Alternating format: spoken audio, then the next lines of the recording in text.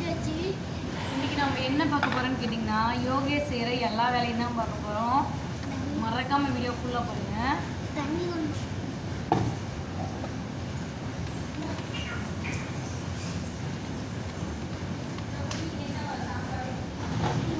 தம்பியோட பண்ணினேன் வச்சு இப்படி வச்சுக்கோங்க வெத்து மேலே இப்படி வச்சுக்கோங்க நீட்டாக வச்சு அப்படியே இந்த ஷேப்பில் வச்சுக்கோங்க அப்போ பண்ண இங்கே மேலே இதாகணும் சரி hi friends hi friends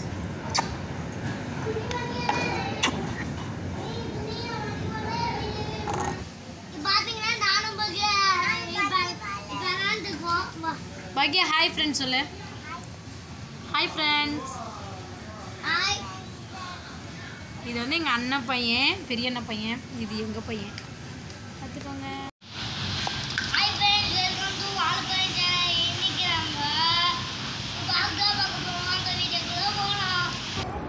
Yogesh பார்த்தீங்கன்னா கீரை பிச்சிட்ருக்கான் கொஞ்சம் இறைச்சலாக இருக்கும். சாரி அட்ஜஸ்ட் பண்ணிக்கோங்க. ஏன்னா மைக் போடல. பாருங்கள் இந்த கீரை ரொம்ப உடம்புக்கு ரொம்ப நல்லது. கோவக்கீரை. காமாலைக்கெலாம் ரொம்பவே நல்லது. யூரின் ப்ராப்ளம் இது எல்லாமே ரெக்கவர் ஆகும். இந்த கீரை யூஸ் பண்ணிங்க அப்படின்னா ரொம்ப ரொம்ப நல்லது. ஸோ நீங்கள் ட்ரை பண்ணி பாருங்கள் இந்த கீரையை. பாருங்கள் இந்த இலை இப்படி இருக்கும் இந்த லீஃபு பார்த்துக்கோங்க இந்த இலை. மறக்காமல் ரொம்ப சீப்பாக தான் கிடைக்கும். நீங்கள் மறக்காமல் ட்ரை பண்ணி பாருங்கள் ரொம்ப ரிசல்ட் கொடுக்கும். காமாலைக்கெலாம் அவ்வளோ நல்லது. பாருங்கள் இந்த இலை. இங்கே லத்தேஸ் பாருங்களேன். அவங்க அப்பா சொல்ல சொல்ல ஏபிசிடி சொல்ல சொல்ல ஒவ்வொன்று சொல்லுவோம் பாருங்கள் அவனும் இப்போ இருந்தே படிக்க ஆரம்பிச்சிட்டான் பாருங்க. பண்ணக்கூடாதுங்க நீங்க. நீங்க ஏபிசிடி சொல்லுங்க. ஏ பி சி டி சொல்லுங்க. B C D E F G அண்ணனும் தம்பி மேட்ச் மேட்சாக போட்டிருக்குறாங்க. இங்கே பாருங்க. ரெண்டு பேரும் மேட்சாக தான் ட்ரெஸ் பண்ணுவாங்க.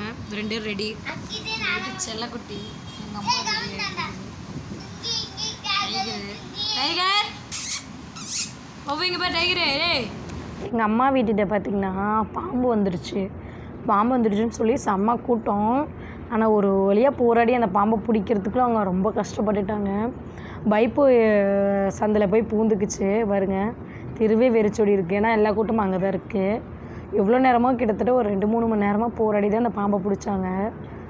ரொம்ப கஷ்டப்பட்டுட்டாங்க. ஆள் பாம்பை பிடிக்கிறவங்கள வேறு சொல்லி தான் பிடிச்சாங்க. பாருங்க பாம்பு பிடிச்சிட்டாங்க. அந்த பாம்பு பாருங்க. நல்ல பாம்பு. எப்படி அவங்க அவங்க இது பண்ணுறாங்க அந்த பாம்பு அதுக்கு ஏற்ற மாதிரி படம் எடுத்துகிட்டு ஆடுது பாருங்க. ஓரளவு குட்டி பாம்பு தான் பாருங்கள் சத்துமா சத்து தம்பிக்கு பாருங்கள் இந்த டைம் நான் கொஞ்சம் டிஃப்ரெண்ட்டாக அரைக்கலான்னு முடிவு பண்ணிட்டேன். எல்லாத்தையும் வாங்கி ஊற வச்சு முளப்பு கட்டி தான் அரைக்கிறேன். ஏன்னா தம்பிக்கும் இப்போ பத்து மாதம் முடிஞ்சு பதினொன்று ஆயிடுச்சு. பாருங்கள் முளப்பு கட்டுறதுக்காக வச்சுருக்கேன். ஃபஸ்ட் நாள் இது. கொஞ்சம் கொஞ்சமாக வந்திருக்குது முளப்பு.